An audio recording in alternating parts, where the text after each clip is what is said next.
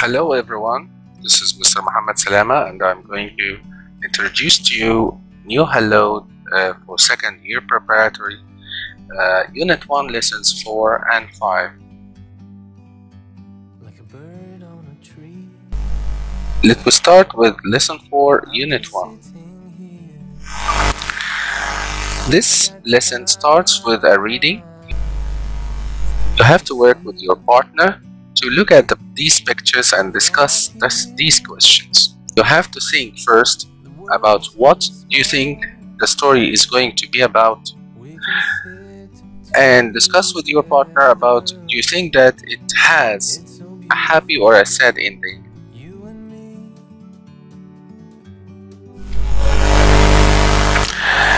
The story is called The Railway Children by E.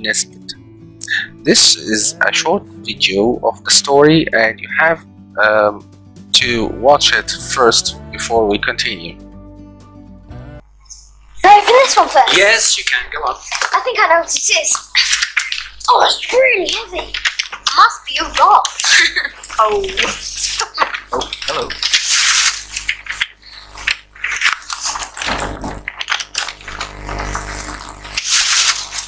Oh, thank you.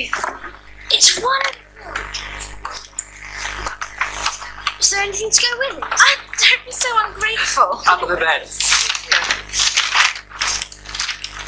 Take mine. It's pencils. You don't like them. I'll have them. Come on, you can have. Oh, thank you. Come on, let's get it going. Let's see how it works. After finishing this scene, you can watch the whole film on YouTube by entering this uh, address. The next part, you have we have to read the story, and after reading, we put these pictures in the correct order. Let we read it together. The Railway Children by E. Nesbit. In the 1900s, Roberta, her younger brother Peter, and their little their little sister Phyllis live with their parents in London. They have a big, attractive home with a large garden. One terrible day, two men take their father away from home. The children do not know where he is going or why. The children move from the city with their mother to a small house near a railway line. The family are poor and life is very different for them. The children have lots of adventures near the railway line. A kind old man who travels on the train every day becomes their friend. The old man helps the family in many ways. He helps their father too, because the father is in prison for something he did not do. Finally, the father comes home the family is so happy to be together again at last. Okay, after reading, we have to order the pictures. The first picture obviously is picture B.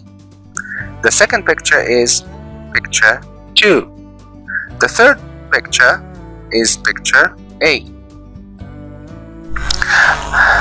After reading the story, we have to read it again and match to make sentences. Number one is done for you.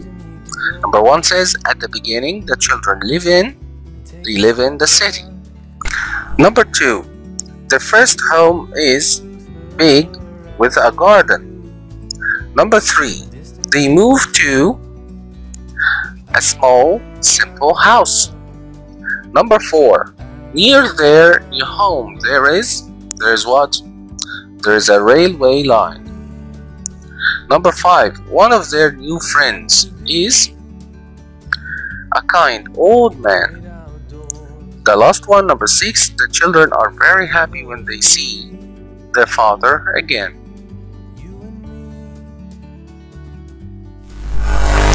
Okay, let me discuss some new vocabulary that we uh, uh, read. The first word is attractive. Attractive is an adjective. It means pleasing or appealing to the senses. The example says, they live in an attractive house, like uh, here in the picture. The second word is large. Large is an adjective.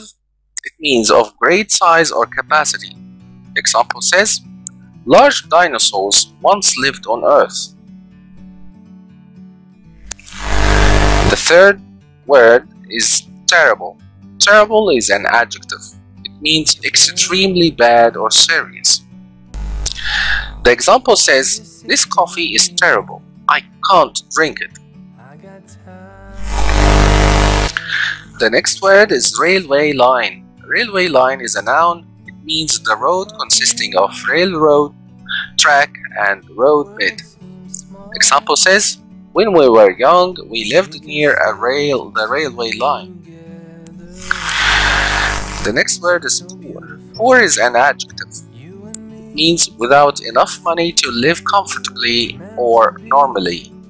The example says, This family is poor. I'll help them. The last word is prison. Prison is a noun. Prison is a building in which people are held as a punishment for a crime. The example says, The man is in the prison for the crime he did. The next exercise here, he wants you to use one of these words to fill in the spaces in front of each definition. Number one is done for you. A place where people go when they do something wrong. This, this place is prison. Number two, the road that a train travels on. This road is railway line. Number three, people without enough money are, these people are what? Are poor. The word be beautiful. The word beautiful means attractive. Number five, very big. Very big means large. Number six, very bad. Very bad, it means terrible. How did the children feel when they moved to the small house? After you say uh, how, you should give me reasons. Why? Number two, how do you feel when uh, things change? When you change your life, how do you feel? Is it easy or difficult at first? The change, is it difficult or easy at first? Okay, you can decide yourself. Lesson 5, Unit 1, Lesson 5 starts with also a pair work. You have to uh, look at these two pictures with your partner and uh, answer this question together.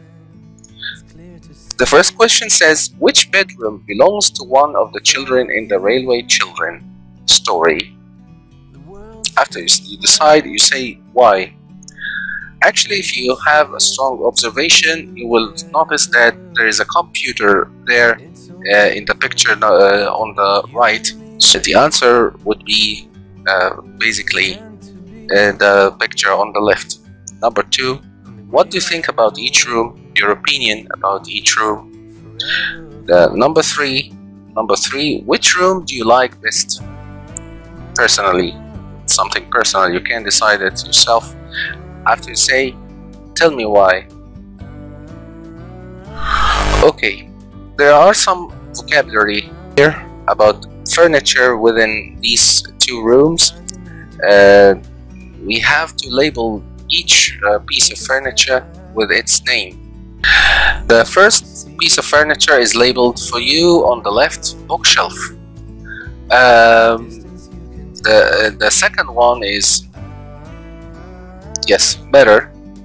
Number three, chest of drawers. Number four, basin. Number five, yes, armchair. Let me turn to the right one. Number six, lamp. Number seven, curtains. Number eight, wardrobe. Number uh, nine, sofa. Number ten, carpet. Next is a listening track of two people, a boy and a girl. Each one describes his own bedroom. After listening, you have to decide which room belongs to the boy and which room belongs to the girl. Okay, let we listen carefully. Speaker 1. My bedroom is beautiful. I have a lamp on my bookshelf. It helps me to read in bed. There are big curtains on the window. The curtain match the carpet.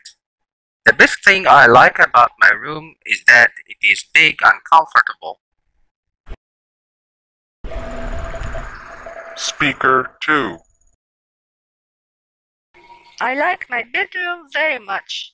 I have nice curtains. I sometimes sleep with the curtains open. I like to read on my armchair. I have a basin in my bedroom where I wash my face before I go to bed. Okay, uh, have you decided after listening? If you cannot, you can play it again. Um, the, the room on the right is for the boy, yes, and uh, the room on the left is for the girl. We have to listen again and answer the questions. Speaker 1. My bedroom is beautiful. I have a lamp on my bookshelf. It helps me to read in bed. There are big curtains on the window. The curtain match the carpet. The best thing I like about my room is that it is big and comfortable. Speaker 2. I like my bedroom very much. I have nice curtains. I sometimes sleep with the curtains open. I like to read on my armchair. I have a basin in my bedroom where I wash my face before I go to bed. We have to uh, answer the questions. Number one is done for you. Uh, it says, How does the boy read in the bed? Uh, the answer is he has a lamp on his bookshelf. Number two, what do the curtains match? The answer, they match the carpet. Number three, what does the boy like best about his room? The answer, that it's big and comfortable.